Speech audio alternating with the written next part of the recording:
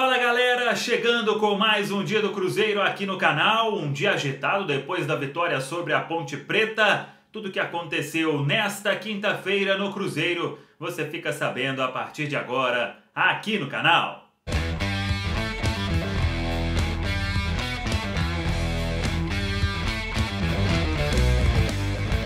Lembrando sempre, se inscreva, compartilhe, ative as notificações, deixe o seu like aqui no meu canal que tem o um oferecimento da Nova Safra. Na Nova Safra, preço baixo é tradição. Muito bem, o dia foi de reapresentação, depois da vitória sobre a Ponte Preta, 3 a 0 e aí aquela programação tradicional.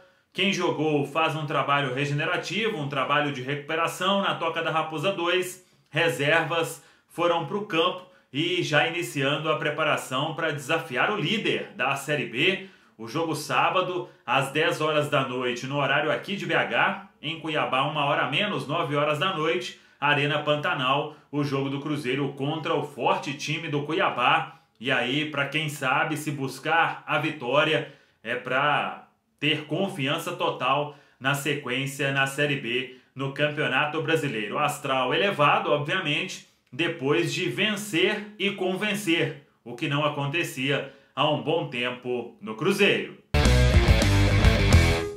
Pela grande atuação contra a Ponte Preta, quatro jogadores do Cruzeiro na seleção da rodada, 12 rodada da Série B. A dupla de zaga, Manuel e Ramon.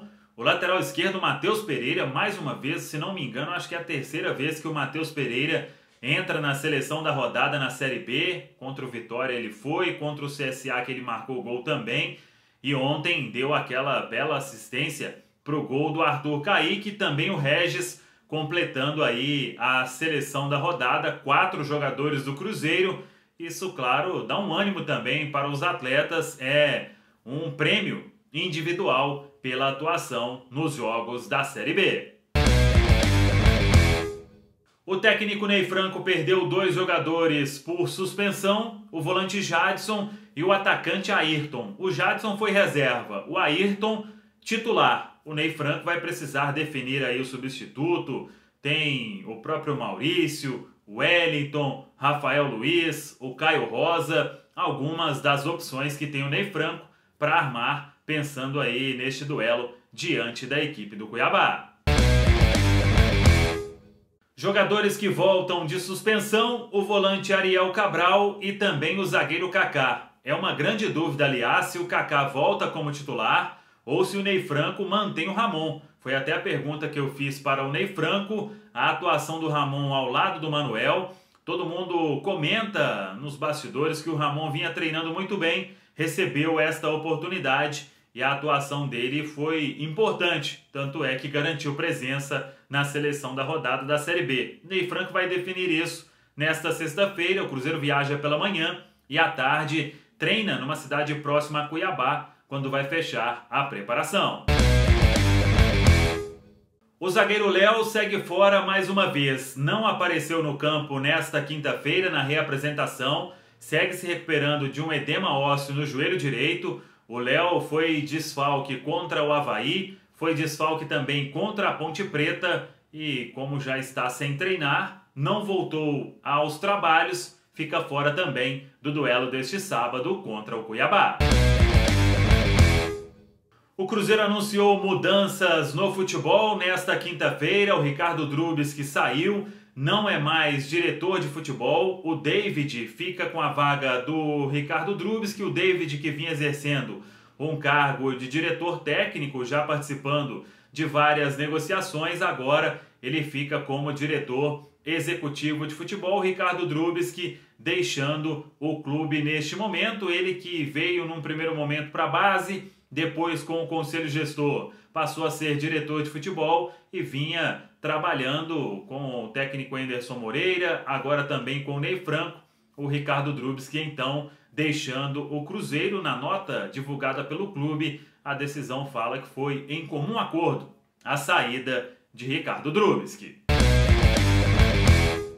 Uma novidade no futebol, José Carlos Brunoro, muita experiência ao longo do futebol, ele vem para prestar uma consultoria, não só no futebol, como também na parte administrativa. O presidente Sérgio Santos Rodrigues até anunciou este organograma do Cruzeiro. Outros destaques foram acontecendo neste departamento de futebol agora. Então, José Carlos Brunoro já trabalhou em várias equipes. Claro que ele ficou conhecido naquela época do Palmeiras com a Parmalat, vem para prestar esta consultoria ao Cruzeiro. Outras mudanças: o Claudiomir Costa, que era supervisor de futebol na base no time sub-20, ele passa a ser o supervisor de futebol no profissional. Com isso, Beneci Queiroz vai ter função apenas administrativa no Cruzeiro.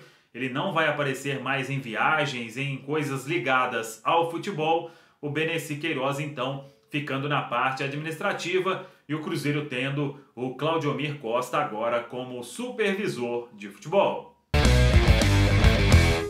Para a gente fechar, tabela desmembrada da Série B do Campeonato Brasileiro e mais um jogo vai ter transmissão da TV Globo em um domingo, 25 de outubro, às 4 horas da tarde, o jogo contra o Náutico no Estádio dos Aflitos, em Recife. Antes, no dia 11, tem outro jogo na TV Globo, Cruzeiro e Oeste, esse jogo na Arena Barueri, também um domingo, às 4 horas da tarde. A TV Globo que já transmitiu Cruzeiro e Figueirense em um domingo, transmitiu também Cruzeiro e Brasil de Pelotas em uma quarta-feira. Serão aí, neste início da Série B, quatro jogos transmitidos em TV aberta do Cruzeiro na Série B. Tá falado, pessoal? Um abraço, até a próxima. Vamos que vamos! Canal Samuel Venâncio. Oferecimento Nova Safra. Compre pelo Televendas, pela internet ou visite as duas lojas na Ceasa. Na Nova Safra, preço baixo é tradição.